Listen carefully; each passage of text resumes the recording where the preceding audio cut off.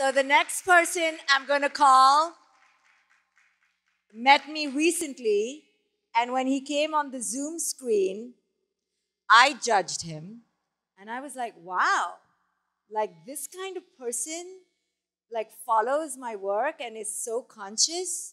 And then as he began talking, it became so apparent, and I just fell in love with this person because he showed me how stereotypes simply don't hold true. So let me call on the stage Weston. Weston, where are you? There he is. You'll see I'm not really judgmental, but look at him, okay? Show them all your tattoos and look. so I was like, huh?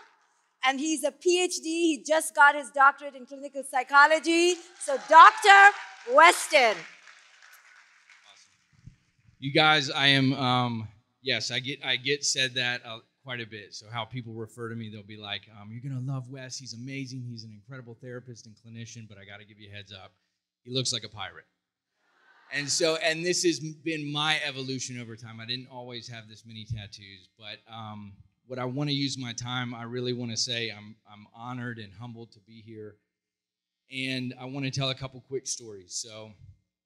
I am. I'm a PhD LPC. My mom has been in the field for years. My grandmother has her EDD. And I'm, as a licensed professional counselor, I did therapy for years in private practice. Now I have a youth center that we serve young people and we deal with anxiety, substance abuse, self harm, suicidality. We work with families. It's a beautiful blend. Um, but I want to go back to my own childhood. So I can remember, I think I was maybe four, five years old and I was asking my mom all these questions. What does God look like? When can I talk to God? What kind of job does God have? What does God think is funny? And finally, my mom was like, Wes, just go write God a letter. And I was like, okay.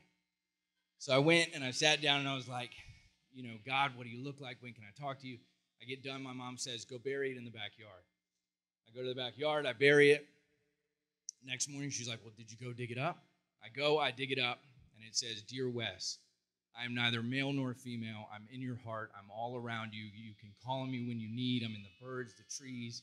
So, this was my first moment as a young person in experiencing conscious parenting from my own mom. And she weaved in and out. She's got all her own shit.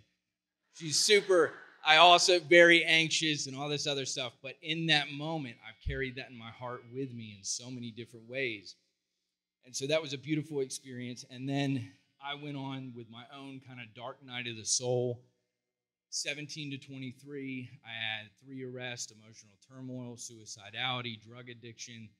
I turned a corner out of all that and devoted my life to helping young people that struggle in similar ways. So I'll bring it to, I'm for, thank you. Yep. So I'm 40 years old now. My wife Allison is here. We've been married for 12 years, together 16, and we have two beautiful little daughters. Thank you. Nine. So Story is nine years old, and River is six. And the moment that kind of cracked my heart open, my my conscious parenting moment was with our first daughter, Story. We had her, and I'm have a booming private practice, and I'm immersed in the PhD program and I'm working with countless young people and parents. And um, it was around the age of like one and a half. My wife goes, Hey, story's regressing in her speech. Something's up. Something seems odd about her development. And I'm like, Look, it's fine. You know, she's going to come to it on her own.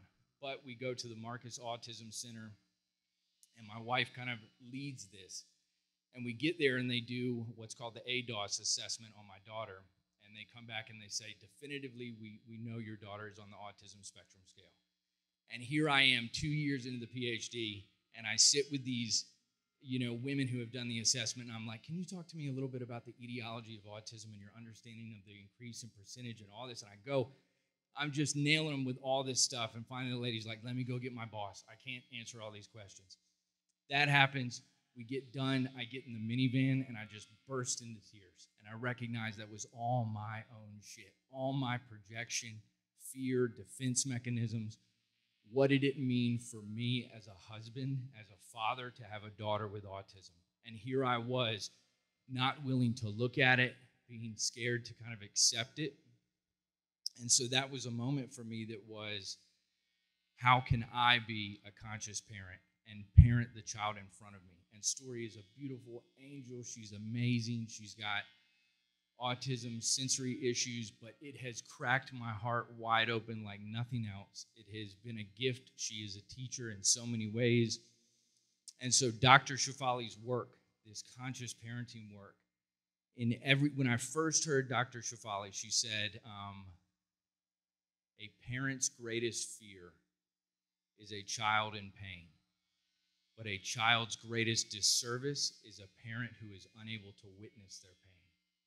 And I heard that and I carried that with me. And that came into every single session, every kid I worked with, every family I worked with. I finally felt like I don't care how these parents feel. I am going to tell them truth. And I am going to share Dr. Shefali's work and I'm going to deliver this truth because it's what they need to hear in order to wake up.